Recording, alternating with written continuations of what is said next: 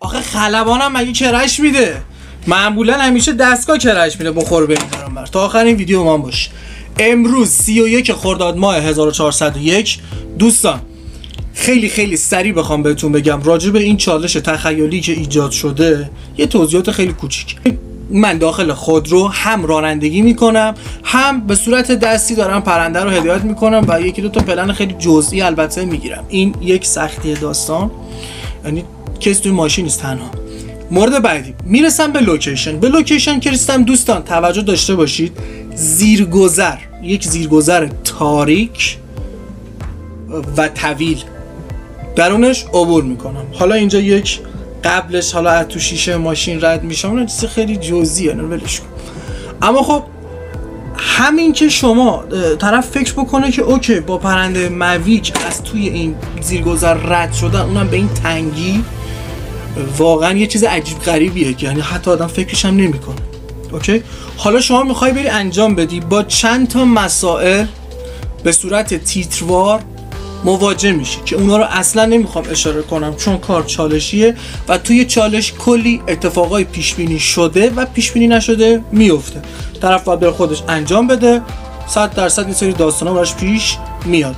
بگذریم بعد از اون شما فکر کن من توی اون زیرگذر پرواز دادم پرنده پرنده رد شده رفته پلنمو گرفتم. فکر کن شما وسط زیرگذر پرندم دور زده و به صورت حالا دنده عقب اصطلاحا پرنده داره حرکت می‌کنه. این خودش واقعا چی شد؟ الان شما تو یک فاصله خیلی خیلی کوچیک اینطوری پرنده دور بزنه به عقب. واقعا یه چیز پیچیده ایه. اونم تو جای تاریک جایی که اصلا کرش صد درصده. یعنی صد درصده. حالا اینم یک سمت. سمت دیگه ای که دوستان وجود داره من این بره اون زیرگذر هستم موقع تصویر برداری سمت ماشین.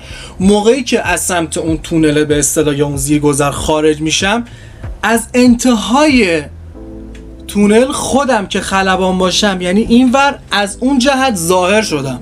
یا توی ویدیو اومدم. آخه چه جوری؟ توجه داشته باشید. هیچ کدوم اینها دوستان VFX یا جلوای ویژه به هیچ عنوان نیست. هیچ کاتی هم توش انجام نشده که طرفی که خب فیلم آخر و فیلم به فیلم اول بس اصلا همچه اتفاقی پیش نیومده.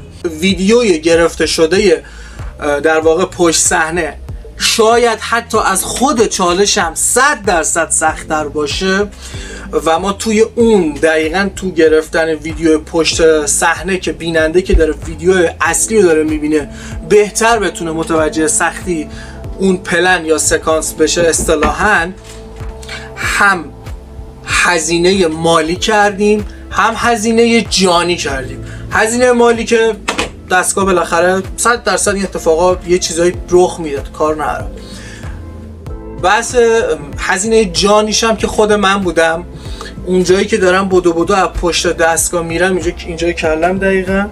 خورد مستقیم توی سقف اون زیرگذر خیلی پیچیده است. نمی‌خوام وارد این بحثا بشم ولی همینقدر دوستان به شما بگم که اگه کسی اومد از تجربهش صحبت کرد برای شما بیاید این ویدیوها رو بهش نشون بدید. یا حداقل ویدیوهای من رو دیده باشید. سختی طرف به چی میگه سختی؟ طرف یه دونه ملخ دستگاه شکسته بهش میگه عجب تجربه عجیب غریبی من کسب کردم مثلا می‌خوام بهتون بگم. دوستان واقعا حتی فکر کردن به این قضیه هم چیز آسونی نیستش یعنی خیلی پیچیده است. خیلی واقعا کنترل و تمرکز می‌خواد. هیچ جای دنیا. تو فکر کن بودو بودو دویدم خودم خوردم تو سقف. یعنی خلبان کرش داده. همه جای دنیا پرنده کرش میده. خب با استفاده از این رادیو من خودم کرش دادم. یعنی خلبان کرش داده. که واقعا خیلی پیچیده است. دیگه خودتون تا ته داستان رو برید. حتما ویدیو رو ببینید لایک کنید نظراتتون رو خیلی خیلی محترمانه حتما کامنت کنید. میشنوم می‌خونم پاسخ میدم بهتون. اگر مفید و جذاب بود حتما حتما برای دوستاتون ارسال کنید. متشکرم از شما.